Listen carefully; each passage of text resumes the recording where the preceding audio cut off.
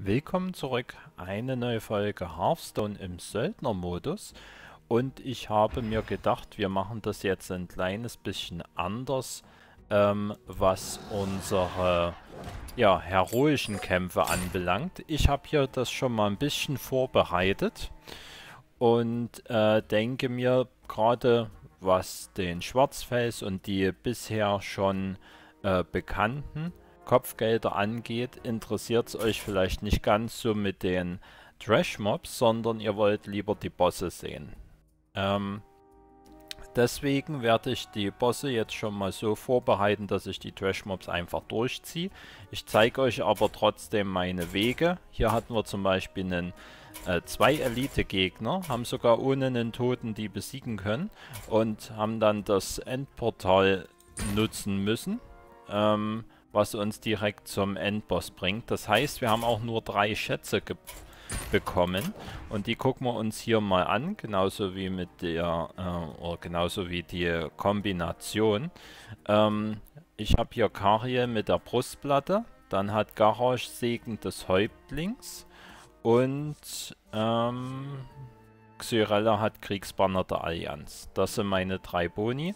Und ich dachte mir, bei Chromakos weiß ich jetzt überhaupt nicht mehr, was er konnte. Ich weiß noch eins, dass er jede Runde irgendwie seinen Status wechselt. Also von dem Neutralen hier geht er auf einen anderen, ähm, auf eine andere Farbe und hat damit Schwächen oder Vorteile.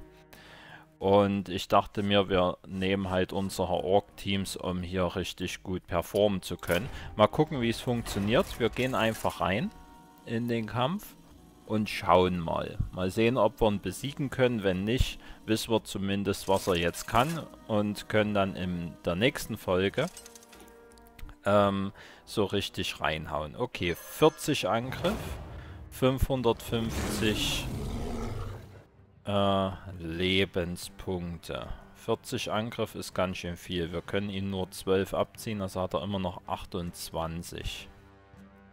Okay.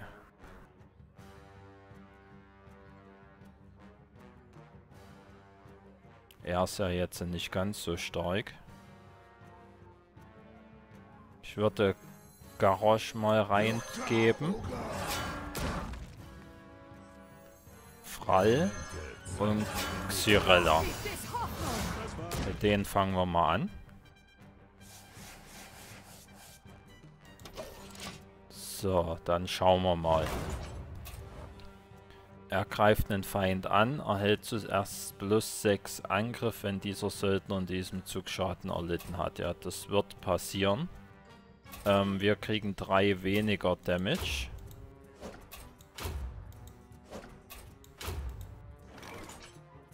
Und dann schauen wir mal, wie viel Damage wir machen können.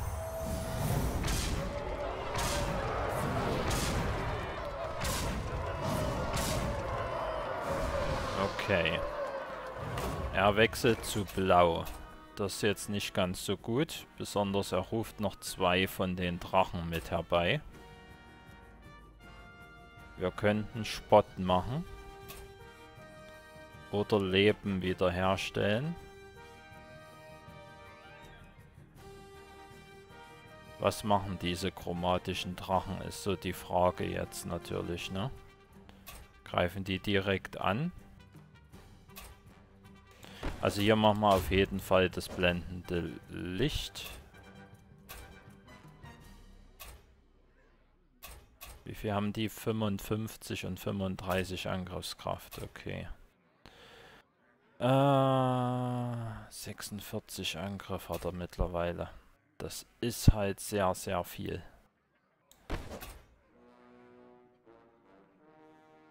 Gut, wir machen den Schlachtzug. Vielleicht treffen wir ja so einen chromatischen und hauen den schon mal ein bisschen runter. Mal gucken. Das war's.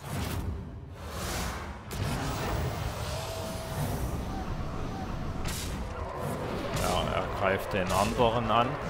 Frall ist jetzt leider draufgegangen. Okay. Ich wüsste, was diese chromatischen Drachen machen. Jetzt ist die rot ist er rot geworden.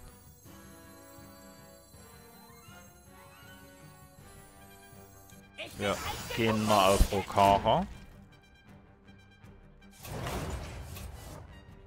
Er macht die Raserei und die machen arkane Geschosse und Raserei. Okay. Die arkanen Geschosse sind natürlich nicht schön für uns. Er würde mit seiner Raserei Rokara wahrscheinlich one-shotten.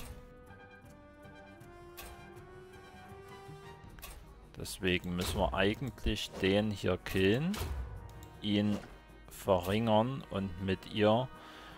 Wie oft setzt sie das ein? Dreimal, das müsste ausreichen, ne? Das war's. Für jeden anderen Ork. Ne, dann setzt es nur zweimal ein.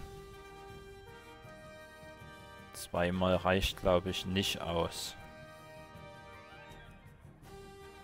Ähm, das sind 24, 48 Damage. Hier erhält sie 5 Angriff. Wenn wir einen weiteren Ork kontrollieren. Das reicht alles nicht. Gut, aber wir machen es trotzdem mal so.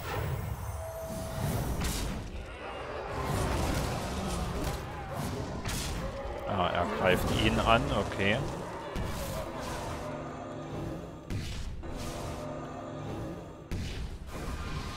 Okay. Jetzt wird er blau. Das wäre ein guter Zeitpunkt für unseren Blingmeister. Der ist halt ziemlich am Schwächeln. Ich glaube, ich muss irgendwas nehmen, was ähm, keine direkten Angriffe verursacht.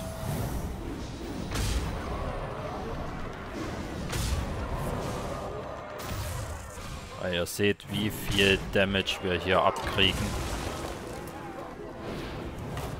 141. Jetzt ist er grün. Für die Allianz und meine Familie. Jetzt ruft er wieder diese Drachen herbei.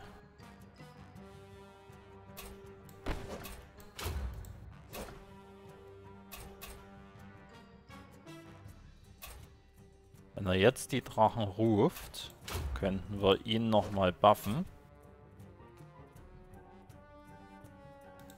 Er kann mit dem Spiegelbild ihm ordentlich einheizen. Oder wir machen es andersrum. Wir machen für sie Spott. Dann kann sie im nächsten Zug ihm richtig Schaden drücken. machen jetzt die wirbelnde Klinge. Wie viel Schaden könnte er bekommen? Das ist jetzt so die Frage. Wenn wir hier 14 Damage machen, dann hat er noch 127. Mit ähm, dem Spiegelbild wären das... Das kriegt er plus 2 Angriff einmal. 36, da kommt er auf ähm, 91, glaube ich. Ne? Und sie kriegt ja nochmal sind 34. Ah, die macht ja am nächsten Zug nicht doppelten Schaden, weil er wieder sein Element wechselt. Okay. Das heißt, an sich wäre es ja, ich würde aber trotzdem gern den Spot haben, dass die das abfangen kann. Das heißt, wir machen das Spiegelbild oder machen wir jetzt die wirbelnde Klinge? Komm, wir machen die wirbelnde Klinge, dann damagen wir zumindest schon mal diese chromatischen. Die müssten jetzt wahrscheinlich grün sein, ja.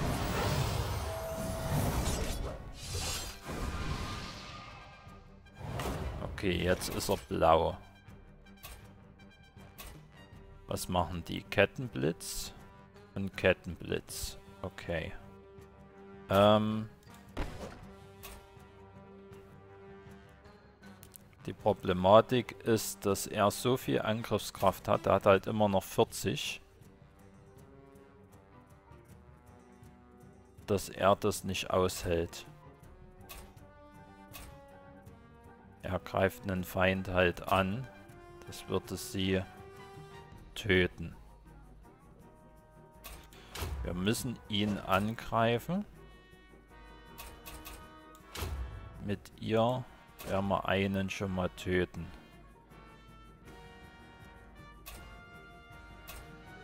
Und sie heilt sich ja wieder hoch. So, und hier hilft alles nichts. Hier müssen wir erstmal das, das äh, Spiegelbild holen.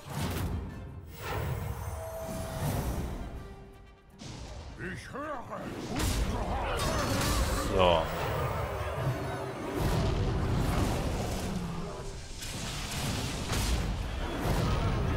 Das war gut, dass er den angegriffen hat. So ist nämlich unsere Kariel am Leben geblieben. Der Boss ist gestorben. Und das müsste doch jetzt ausreichen, um ihn zu besiegen. Ja, wir haben es uns eigentlich mit unserem Setup unnötig schwer gemacht, weil der ein guter Counter gegen physische Angriffe ist. Ui, 51. Da sind wir gleich mal im nächsten Level vom Gasthaus Pass mit drin. Aber wir haben den besiegt. Chromagus heroisch. Also sehr gut. Mit Castern bestimmt äh, besser besiegbar. Könnte ich mir vorstellen. Muss man, müsste man mal ausprobieren. Okay. Im ersten Versuch Chromagus heroisch bezwungen. Ja, und dann fehlt nur noch einer und das ist Nefarian. Der kommt dann in der nächsten Folge. Wir gucken gleich mal beim Gasthauspass, was der uns gebracht hat.